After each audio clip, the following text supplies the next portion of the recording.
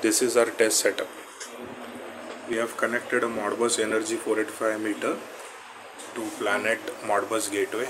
The data from modbus 485 is converted to ethernet modbus tcp then it is sent to the media converters.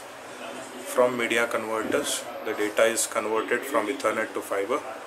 Then this fiber optic cable goes to another media converter there it is again being converted to ethernet and using an ethernet cable it is being brought onto a laptop. Onto a laptop we have the modscan software where you can see the data is being received on the modscan software. Here is a ping test. We can continuously ping the modbus tcp gateway. So modbus rs485 data is converted to modbus tcp and using fiber optic it is converted to fiber optic and then brought onto the computer